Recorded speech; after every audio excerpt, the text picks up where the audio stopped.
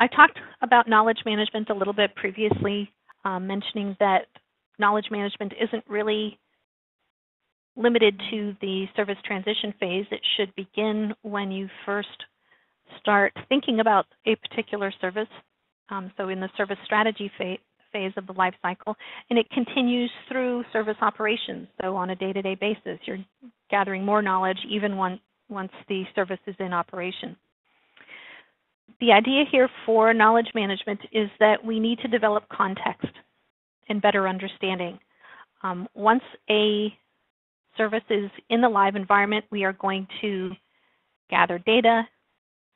From data, we develop information about that service from information, knowledge, and ultimately wisdom to have uh, so that we can better support the applications and services that we are providing and so that we can better inform our end users. Again, training and knowledge leads to better understanding on the part of our end users and overall increased satisfaction of our customers.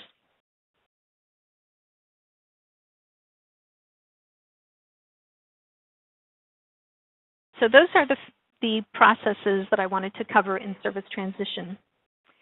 Um, I am going to touch on service operation briefly. Uh, this is, of course, what I'll be going into, uh, I'll be covering next week or in two weeks in more depth. But with service operation, one thing that I wanted to um, um, to mention is that in service operation, uh, you know, we talked about in change management, we talked about normal and standard changes. Um, and although both incidents and service requests are submitted to the service desk, um, service requests actually go back to change management. So standard changes are often seen or often defined as service requests within the organization. And service requests are resolved or the resolution is provided by the request fulfillment process. So we often refer to these service requests, so a request for a new laptop, um, a request for onboarding a new uh, user within the organization. Those are service requests which can also be defined as standard changes. Um, with, in the example of onboarding a new employee, it may be the manager who provides the local authority or the, the authorization for that particular change. It may happen that the incident can lead to a service request standard change or an access request to resolve the incident. So there is a connection there between incidents and changes, or there could be potentially a, a relationship there. Um, but service requests don't go back to the incident management process. It's, it's actually the request fulfillment process. Regardless of whether you're using an incident form to log the information it's the type of request that's important here. So the point essentially is that um, you should understand that incidents and service requests are two distinct types of requests. They should be tracked separately, um, flagged separately, reported on separately.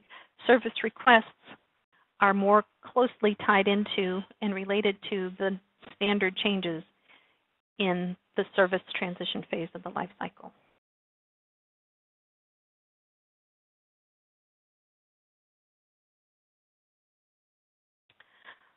I mentioned continual service improvement, um, the fifth phase of the life cycle that surrounds the other phases. This focuses on introducing improvements for the various services that the team supports. And the basis of this continual service improvement model is the Deming cycle. So if you've ever heard of the Deming cycle. It's more common in manufacturing history and terminology, but it's simply the idea that you plan, you do or implement, you check or report, and then take corrective action based on, on that to then start the cycle all over again. As part of continual service improvement, we develop what are called key performance indicators. Um, these are the most critical metrics that we gather, um, and they should be based on our critical success factors. So to give you some ideas of key performance indicators or metrics related to change management, um, we can see, for example, if it's important for our organization that we are able to make changes quickly and accurately, then we want to be sure that we are, um, if we're focused on the accuracy part, part of it, we want to be sure that if we're keeping track of incidents caused by changes, we want to see that reduced. We want to reduce the number of outages caused by poorly implemented changes, and we certainly want to see a reduction in emergency changes. Um, a high number of emergency changes indicates a large risk for the organization and really a poorly managed uh, change process. We also have KPIs for release management. Um, again, this focus here on testing. We want to be sure that uh, we're tracking releases and showing the testing that's been done. Similar to emergency changes, we want to reduce the number of urgent releases. We also want to reduce, of course, failed releases or incidents caused by releases. So we can see and link back uh, incidents if we notice that they are caused by a particular, particular release.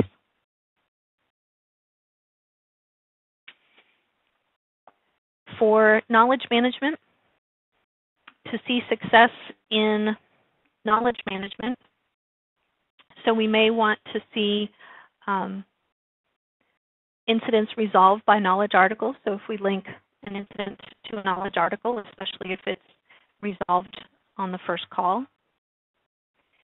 also just having um, knowledge at articles added to the knowledge base. We want to be sure that the knowledge is kept up to date, but certainly the, as we grow the knowledge base um, and make it accessible to the uh, tier one staff and even end users, um, the better potential we have to either avoid incidents altogether or at least reduce the amount of time that it takes to restore service after an incident. The last set of KPIs we'll look at is for IT service asset and configuration management. We want to be sure we um, understand what, how many CIs we have in our environment. Um, sometimes customers are surprised when we implement our uh, discovery tools to, to see how many assets actually exist uh, in the in, within their environment. We want to be sure that there's no unauthorized software out there. That's where the uh, definitive media library can come in handy for keeping track of, of software licenses that are out there. And then finally, exception reports. So um, we may even want to see, you know, if we look at our changes and look at the, the baseline of our CIs, um, baseline compared to the current state of a CI, if those are not, if the um, if a particular CI has changed, there should be a corresponding change request or approved change request associated to that CI. So in some organizations that that have gone um, that have really gotten advanced with the way they're tracking their changes, um, they should be able to see that the the baseline of a CI plus any approved changes should equal the current state of that CI. And that way you can um, make sure that there are no unauthorized changes occurring within the environment.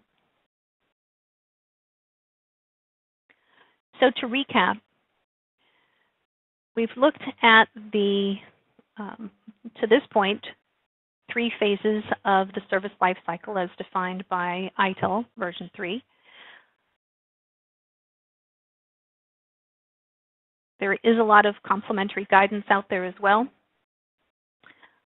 I would encourage you all to um, look at some of the additional resources in addition to the five core lifecycle books. There is a lot of thought leadership out there. Um, we have data sheets and other webinar recordings on our website. Uh, BMC also has a communities um, has communities and blogs that they offer uh, in addition to a number of um, ITIL framework documents.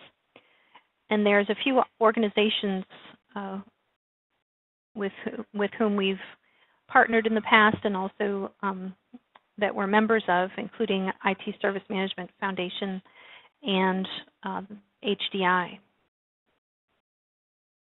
And they can be other good sources of, of information related to IT service management.